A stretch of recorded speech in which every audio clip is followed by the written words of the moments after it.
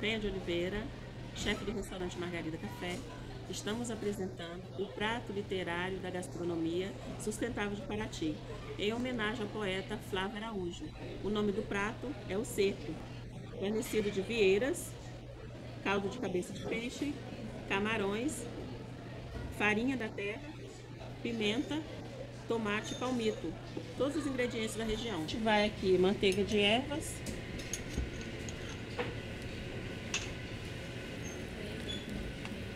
cebola, vieira,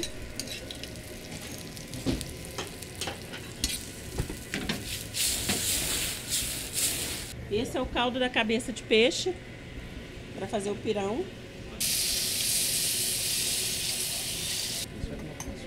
Salsinha e a farinha da terra. Azeite, alho, cebola, camarão.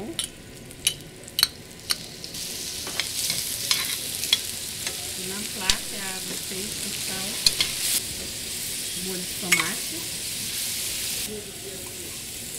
e salsinha. Manteiga de ervas e o palmito.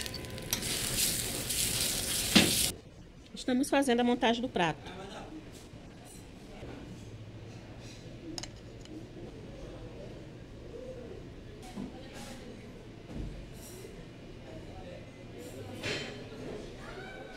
Este é o prato literário da gastronomia sustentável de Paraty, o Circo, uma homenagem do restaurante Margarida Café ao poeta Flávio Araújo.